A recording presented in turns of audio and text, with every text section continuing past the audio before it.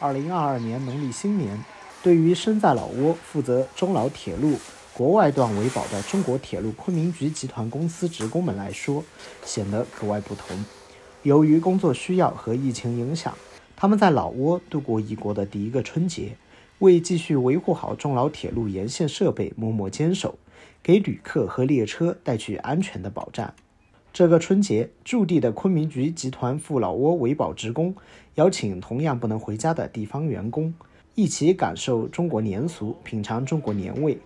刘子洲和宋小麦是一对异国师徒，工作中，刘子洲教宋小麦看道尺、量线路；生活上，宋小麦则教刘子洲讲老挝语，两人建立起了深厚的友谊。老挝的新同事们都非常的好。很真诚，和他们在一起工作我非常开心。在新春佳节到来之际，我想和他们一起过年，把传统的中国年味带给他们。贴春联、挂灯笼、放鞭炮，中方职工和老方职工一起将小院装点起年味儿，也在这中老铁路旁的小院里找到了家的感觉，找到了亲人的感觉。今天和大家一起剪双话，贴春联，很有意思。我非常开心。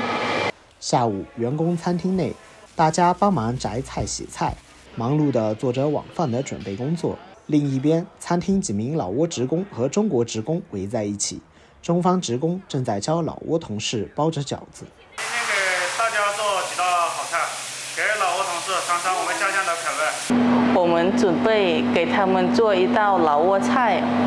我们叫打麻红或者臭木瓜，在老挝交待朋友和呃同事们、客人这些，我们都会准备这道菜。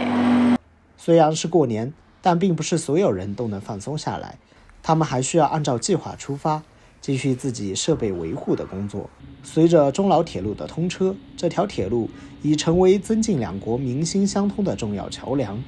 运维才刚刚开始，而这样的春节，未来的日子里还有很多个。